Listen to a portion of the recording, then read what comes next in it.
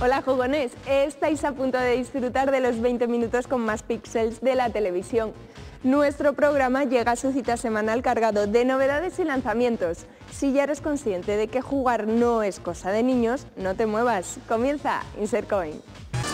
La Feria Retro Madrid lleva 15 años celebrándose en la capital, pero en 2011 no ha encontrado fondos suficientes para salir adelante.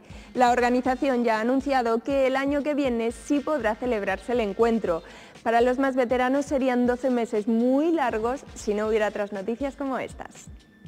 Hay trabajos que a todos nos gustaría hacer alguna vez y hay otros que si no probamos jamás elegiríamos. En esta ocasión y gracias a un videojuego podremos trabajar demoliendo edificios en Demolition Company, un título que te recomendamos que pruebes con casco. Después de nuestro repaso al top 5 es difícil encontrar un videojuego que nos sorprenda, pero eso es precisamente lo que ha conseguido Stacking, un título con el sello de los creadores de Brutal Legend.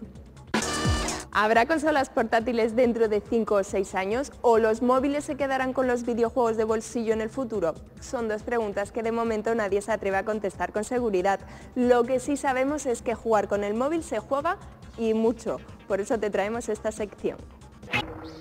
Desde hace unas semanas estamos publicando algunas entrevistas que hemos hecho a los Product Manager españoles. El último en ponerse delante de nuestra cámara ha sido Germán Fritz, responsable de Virtua Tennis. Búscanos en internet y sabrás qué nos ha contado.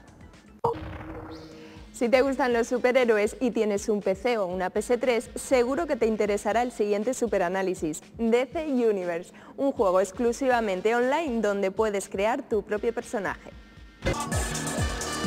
Hay muchas más películas sobre videojuegos de las que creemos, solo que la mayoría no son oficiales. Son las conocidas como fanfilms, pequeñas obras audiovisuales creadas por aficionados.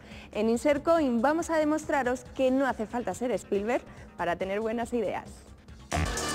En la red nos podemos encontrar con juegos gratuitos tan interesantes como Dreamside Maroon.